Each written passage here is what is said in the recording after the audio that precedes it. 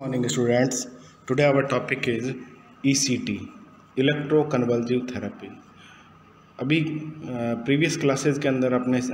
Psychotherapy चल रही है, जिसके अंदर डिफरेंट काइंड की जो ड्रग्स है वो भी चल रही है। और नेक्स्ट अपना आता है फ़िज़िकल थेरेपी फ़िज़िकल थेरेपी के अंदर फ़र्स्ट ऑफ़ ऑल आता है electroconvulsive therapy electroconvulsive therapy basically क्या होती है, और इसके क्या क्या टाइप्स हैं कैसे, किस तरह से दी जाती है, इसके देने के दौरान किस तरह की केयर की जाती है, प्री, इंट्रा, और ये सारी चीज़ों के बारे में डिस्कस करेंगे यहाँ पर इस क्लास के अंदर। First of all introduction of the E C T E C T is a electroconvulsive therapy is a type of somatic treatment first introduced by Bini and कैटली in April 1938 1938 के अंदर first of all इसको introduce किया गया। From 1980 onwards ECT is being considered as unique psychiatric treatment 1980 के अंदर इसको unique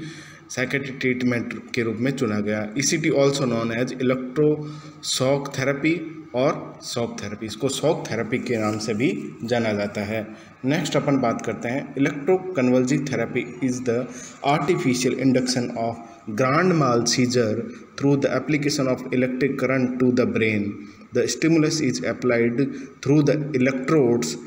that are placed either bilaterally or unilaterally on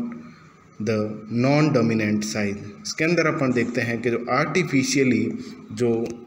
seizures हैं, उनका इंडक्शन किया जाता है, जिनको बोलते हैं अपन ग्रांड माल सीजर आर्टिफिशियली इनको इंट्रोड्यूस किया जाता है ब्रेन के अंदर और इसको दो तरह से प्लेस किया जाता है, जो इलेक्ट्रोड्स हैं, उनको bilaterally or unilaterally non dominant side के अंदर। What is dominant and non dominant side dominant side वो होती है, जैसे कोई राइट हैंड पर्सन है तो उसका लेफ़्ट पार्ट होगा, वो डोमिनेंट होगा और जो लेफ्टी है, उसका राइट right पार्ट होगा ब्रेन का, वो डोमिनेंट होगा। So this is the non dominant और non dominant side of the brain next अपन बात करते हैं parameters of electric currents applied किस किस वोल्ट और कितने टाइम के लिए ड्यूरेशन ऑफ़ फ्रिक्वेंसी क्या क्या रहेगी जो इलेक्ट्रिक शॉक्स है, जो इलेक्ट्रो कन्वल्सिव थेरेपी के अंदर दिए जाते हैं। So first of all voltage is seventy to one twenty volt रखे जाते हैं। Then duration zero point seven to one point five seconds then frequency three times per week or as indicated mainly हफ़्ते में तीन बार इसको दिया जाता है। Then total number six to ten up to twenty five may be preferred as indicated ज़्यादा से ज़्यादा पच्चीस और कॉमनली छः से दस ई e है वो ही काम में ली जाती है बेसिकली देन अपन बात करते हैं mechanism of action of the electro convulsive therapy the exact mechanism of action is unknown it possibly effect the catecholamine pathway between diencephalon and limbic system also involving the hypothalamus जो brain के अंदर catecholamine जो pathway पाया जाता है between diencephalon and limbic system उस pathway के अंदर इन्वॉल्वमेंट करती है ये जो ईसीटी e है। Then types of ECT direct ECT and modified ECT direct ECT कौन सी होती है? It is given in the absence of anaesthesia and muscular relaxation this is not a commonly used method now direct ECT वो ECT होती है जिसके अंदर किसी तरह का एनेस्थीसिया नहीं दिया जाता और ना ही किसी तरह का मस्कुलर रिलैक्सेशन लगाया जाता है। विदाउट एनी मस्कुलर रिलैक्सेशन और एनेस्थीसिया के सीधा ही ईसीटी दी जाती है और ये बहुत कम काम में ली जाती है।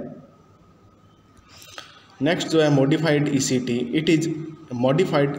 by drug induced muscle relaxation and general anaesthesia जो मॉडिफाइड ईसीटी है, इसके अंदर general anaesthesia and muscular relaxation drugs है जो काम में ली जाती है, ताकि पेशेंट को ज़्यादा परेशानी ना हो। Then application of electrodes first of all bilateral ECT each electrode is placed 2.5 to 4 centimeter above the midpoint on a line joining the tragus of the ear and the lateral canthus of the eye जो electrodes uh, अपन place करेंगे patient के ऊपर उसका यह तरीका रहेगा कि जो फ़र्स्ट uh, जो इलेक्ट्रोड है वो मिड पॉइंट ऑफ़ दी जो मिड पॉइंट सेलेक्ट करेंगे, किसके बीच में ट्रैगस ऑफ़ द ईयर और लेटरल कैंथस ऑफ़ आई के बीचों बीच से थोड़ा सा ऊपर 2.5 टू 4 सेंटीमीटर एक मिड पॉइंट अपन सेलेक्ट करेंगे, वहाँ पर अपन इलेक्ट्रोड है जो प्लेस करेंगे। Then unilateral ECT electrodes are placed only one side of the head usually non dominant side unilateral ECT safer with much fewer side effects, particularly those of memory impairment. Unilateral ECT का देने का तरीका यह रहता है कि यह non dominant side के अंदर ही इलेक्ट्रोड्स लगाए जाते हैं। फॉर एग्ज़ाम्पल अगर कोई पर्सन राइट हैंडेड है तो उसका डोमिनेंट साइड होगा लेफ़्ट साइड ब्रेन का लेफ़्ट साइड और नॉन डोमिनेंट साइड हुआ उसका राइट साइड तो राइट साइड के अंदर उसके इलेक्ट्रोड्स है जो प्लेस किए जाएँगे। अगर राइट right साइड में अपन इलेक्ट्रोड्स प्लेस करते हैं तो अपने को काफ़ी कम साइड इफ़ेक्ट्स है जो देखने को मिलेंगे। देन देन अपन बात करते हैं indication of the ECT first of all major depression then severe catatonia then organic mental disorder then severe साइकोसिस like schizophrenia और मेनिया ये कुछ कुछ जो इंडिकेशंस है, जिनके अंदर ईसीटी काम में ली जाती है लाइक डिप्रेशन के अंदर ली जाती है मेनिया के अंदर भी ली जाती है सीवियर कैटाटोनिया के अंदर जो कंडीशन होती है, उसके अंदर ली जाती है साइकोसिस लाइक सिजोफ्रेनिया मेनिया में ली जाती है, और कॉन्ट्रा इंडिकेटेड किन किन के अंदर है? कौन कौन सी जो डिज़ीज़ कंडीशन साइकेट्रिक और अदर डिज़ीज़ हैं जिनके अंदर ईसीटी देना contraindicated so first of all raised ICP intracranial pressure ICP अगर किसी का इंट्राक्रेनियल प्रेशर बढ़ा हुआ है तो भी उसको अपन ईसीटी प्रेफर नहीं करेंगे। कंजस्टिव हार्ट फेलियर है अगर कोई then cerebral haemorrhage and retinal detachment ये सब अगर किसी को प्रॉब्लम्स हैं तो ईसीटी अपन प्रेफर नहीं करेंगे। Then pneumonia acute myocardial infection brain tumour cerebral aneurysm so these condition के अंदर अपन कभी भी ईसीटी है जो काम में नहीं लेंगे। ये सब कंडीशन कॉन्ट्रा इंडिकेटेड है। देन अपन बात करते हैं side effects of the E C T electroconvulsive therapy first of all head then short term memory loss, confusion and anxiety, dryness of mouth, palpitation, nausea and vomiting, drowsiness, tongue bite, muscle ache, restlessness. So these are the these are the side effects of the ECT. Now we are talking about drug used in the ECT electroconvulsive therapy injection first of all succinylcholine 0.5 point five M G per K G muscle relaxant use में लिया जाता है। Muscle relaxation के लिए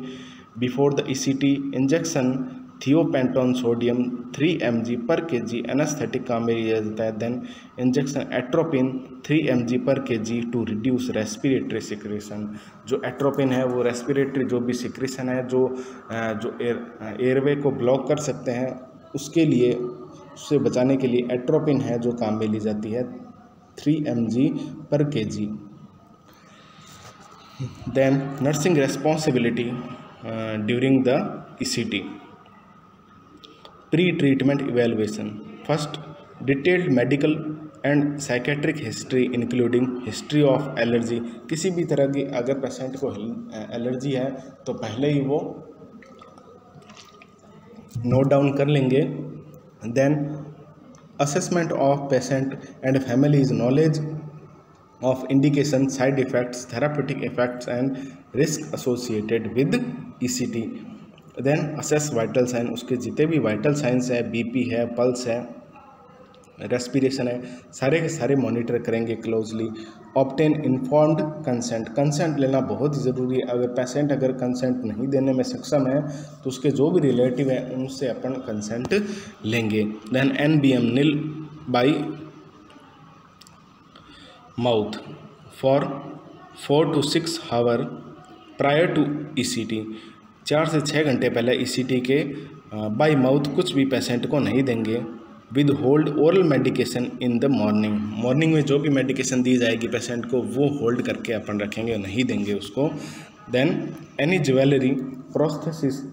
contract lenses metabolic object and tight clothing should be remove from the patient body patient की body से अगर कोई भी मेटेलिक ऑब्जेक्ट है टाइट क्लोथ्स है या कोई भी जैसे रिंग है या कोई ऐसी चीज़ों को अपन पहले ही वहाँ से हटा लेंगे।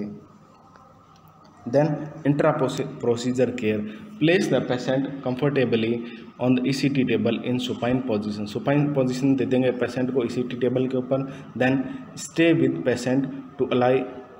anxiety and fear patient के साथ रहेंगे, उसको साइकोलॉजिकल सपोर्ट देंगे, उसको कॉपरेट करेंगे और उसकी रिलेटेड जो एनजाइटी है और फियर है ईसीटी का, वो रिमूव करने की कोशिश करेंगे। Mouth gag should be inserted to prevent possible tongue bite mouth gag ज़रूर लगाएँगे। अगर माउथ गैग नहीं लगाया तो टंग बाइट होने के बहुत ज़्यादा चांसेस रहते हैं during the shock the place of electrode placement should be clean with normal saline normal saline के साथ जहाँ पर भी अपन इलेक्ट्रोड्स लगाएँगे, वो अच्छे तरीके से साफ़ कर लेंगे। Monitor voltage intensity and duration of electric stimulus then 100 percent oxygen should be provided then record the findings and medicine given in the patient chart patient की जो जो भी मेडिसिन है वो चार्ट के अकॉर्डिंग अपन उसको प्रोवाइड करते रहेंगे और 100 परसेंट ऑक्सीजन है, जो भी उसको कंटिन्यूसली प्रोवाइड करेंगे। Then post procedure care post procedure care के अंदर अपन देखते हैं कि मॉनिटर वाइटल साइन जितने भी उसके वाइटल साइन है बीपी है जो पल्स है रेस्पिरेशन है टेम्परेचर ये कंटिन्यूसली मॉनिटर करेंगे। After the procedure continue oxygenation till spontaneous respiration start जब तक कि उसका खुद से वो सांस लेना शुरू नहीं कर दे तब तक अपन उसको ऑक्सीजनेशन पर ही रखेंगे। Take safety precaution to prevent injury use of side rails to prevent fall side lying position and suctioning to prevent aspiration of secretion जो भी माउथ जो सिक्रेशन हो रहा है, वहाँ पर अपन सक्सन करेंगे। और जो भी प्रिकॉशन अपने को लेने हैं लाइक साइड रेल्स वगैरह लगानी है, सहारा देना है, ताकि पेशेंट है जो अगर अनकॉन्शियस हो गया है या तो उस कंडीशन में वो बेड से गिरे नहीं तो साइड रेल्स वगैरह लगाएँगे और जो भी रेस्पिरेटरी सिक्रेशन है वो भी सक्शन कर लेंगे then next if there is severe post ictal confusion and restless restlessness